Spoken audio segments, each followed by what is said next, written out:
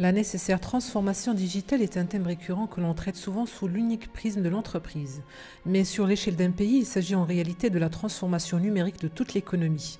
Dans ce sens, ce sont des secteurs d'activité qui doivent maintenir leur compétitivité numérique et par ricochet la compétitivité de notre économie. Ce dernier concept de compétitivité numérique fait à peine ses premiers pas au Maroc. On l'en reste attaché à des indicateurs qui peuvent induire en erreur. Usage d'Internet, évolution du parc mobile ou encore l'évolution du nombre de noms de domaine et qui ne reflète pas fidèlement où on est notre économie dans son virage digital. D'ailleurs, cela pose la responsabilité des entreprises à parrainer la formation de bons profils qui serviraient cette compétitivité de l'économie. Euh, un conseil, oui, mais surtout un appel, franchement, parce que c'est quelque chose qui, est très important, primordial et indispensable pour, pour notre pays. C'est qu'aujourd'hui, on voit bien que les gens, le Marocain, l'entreprise marocaine, se mobilise pour euh, plusieurs cas sociaux et donc ils parrainent, ils, ils, financent euh, beaucoup de projets pour aider un, Marocain qui est en difficulté, chose qui est excellente. Mais aujourd'hui, il ne faut pas oublier dans, dans, ce, côté-là, dans ce, dans ce monde-là de, de besoins, il y a l'aspect éducatif qui est très important. Et malheureusement, on voit dans plusieurs écoles, par exemple si on prend Centrale ici, je suppose qu'ils ne peuvent pas prendre en charge la totalité des étudiants, même s'ils sont brillants. Il doit y avoir euh, un système de parrainage qui pourrait aider. Et l'idée aujourd'hui, c'est de lancer un appel à ces entreprises-là et de dire euh, si une entreprise marocaine, quelle que soit sa taille, euh, prend en charge un étudiant brillant, l'inscrivent dans une école de qualité et qui soit imprégné d'un programme à jour autour de la digitalisation ou autre, pour pouvoir contribuer au développement du pays d'une façon constructive. Il y a un manque dans ce sens. Il faut aller vraiment euh, vers euh, ce parrainage qui va apporter énormément. On ne peut pas mettre tout sur le dos de l'État en disant oui, c'est la responsabilité de l'État, ce qui est vraiment le cas. Mais aujourd'hui, le secteur privé doit aussi, d'une manière ou d'une autre, euh, accompagner ces jeunes Marocains pleins de talents et pleins de, vie pour pouvoir euh, euh, les, aider à s'insérer dans ce monde-là qui est en pleine transformation.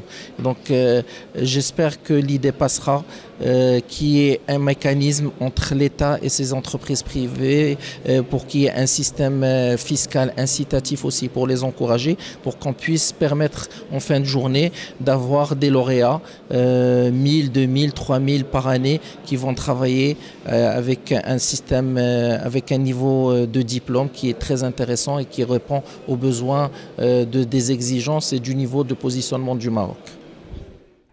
La transformation digitale n'est pas un choix mais un impératif et s'il est difficile de dresser le profil du dirigeant du futur, on en sait un peu plus sur le donneur d'ordre. Comme l'explique Hichem Boudra, le directeur général par intérim de l'Agence marocaine de développement des investissements et des exportations, les donneurs d'ordre qui s'adressent au Maroc sont de plus en plus exigeants et ont des besoins bien pointus ce qui impose un véritable challenge, la réactivité et la malléabilité aussi bien des entreprises que des ressources pour évoluer au rythme de l'environnement extérieur investisseurs qu'on a souhaité amener au Maroc, mais mm. ça a un objectif particulier. Il faut qu'il y ait un positionnement maintenant dans les nouvelles technologies mm. pour pouvoir faire face demain à tout ce qui va se passer dans ce secteur-là. Parce que quand on, quand on va commencer à imprimer des pièces automobiles ou des pièces mm. aéronautiques d'une façon très simple, ça a forcément un impact sur la main-d'œuvre. Aujourd'hui, le challenge pour nous, c'est comment on pourrait positionner les Marocains de telle façon à ce qu'ils répondent demain à ce challenge-là et qu'ils ne soient plus considérés comme une main-d'œuvre de base qui va mm. fabriquer manuellement les choses. On mm. revient à ce concept de, connaissance, c'est l'exemple que je vous donnais au début sur Bagdad, mm. qui existait depuis des siècles et qui existe aujourd'hui. La connaissance ne disparaîtra jamais tant que l'humain existe l'intellectuel existera. Mm. Par contre, les métiers changent à travers le temps. Maintenant, c'est à nous de relever ce challenge-là. Est-ce mm. qu'on veut recycler et transformer nos ressources en des ressources qui réfléchissent encore plus que des ressources qui sont sur des métiers manuels, quel que soit le niveau de, fabrication de transport. L'une des premières questions que posent les donneurs d'ordre mondiaux lorsqu'ils s'intéressent au Maroc est la compétence. Le royaume intéresse de plus en plus des donneurs d'ordre de haut niveau avec des exigences très élevées.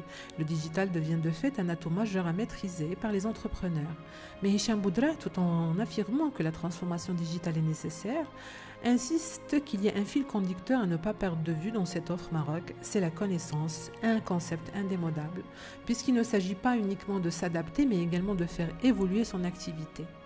On va encore revenir au sujet de mm. digitalisation, c'est aujourd'hui grâce à la digitalisation, il n'y a plus de mm. frontières. On n'est plus obligé de suivre un bloc politique pour se mm. dire on va suivre le système de ce bloc politique, on est sous la tendance américaine ou autre, ou asiatique ou autre mais plutôt vers une connaissance mm. qui va servir mm. nos choix. Mm. J'ai parlé du véhicule électrique, c'est un choix.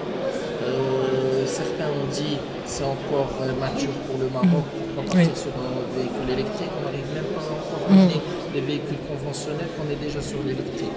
Je leur dis aujourd'hui dans le monde, ceux qui vont réussir, c'est ceux qui vont prendre les raccourcis. Et c'est des raccourcis légitimes. Faut juste se préparer. Aujourd'hui, on a la possibilité de devancer les grandes entreprises mm. euh, classiques. Je ne citerai pas les noms, mm. mais euh, on sera probablement meilleur que des, des, constructeurs importants mm. à travers des partenaires, par exemple, comme BYD, qu'on ramène de Chine. Le Maroc se positionne doucement et sûrement sur le radar des pays à industrie à forte technologie, avec l'ambition aussi de pouvoir capter les métiers de demain, tout en capitalisant sur les autres branches industrielles classiques. L'idée, c'est de positionner le Maroc, mm. d'être dans le futur. Si je vous dis demain, par exemple, dans 40 ans, 50 ans, on n'achètera plus de véhicules, on n'achètera plus de véhicules. Mm. Donc imaginez l'impact sur la population. Mm. Par contre, vous allez utiliser votre smartphone, commander une course, de centrale jusqu'au centre de Casablanca. Euh, à telle heure, à midi pile, vous aurez quelqu'un, un véhicule sans chauffeur qui vous attend devant la porte, une navette ou un drone qui va vous amener en 5 minutes jusqu'à destination. Donc tout ça, ça va arriver. Pas. Ah, c'est à nous de prendre aujourd'hui des raccourcis et de voir comment on pourrait répondre à ce besoin-là sans négliger le système qui est en train de progresser euh, naturellement euh, au niveau du Maroc. Merci.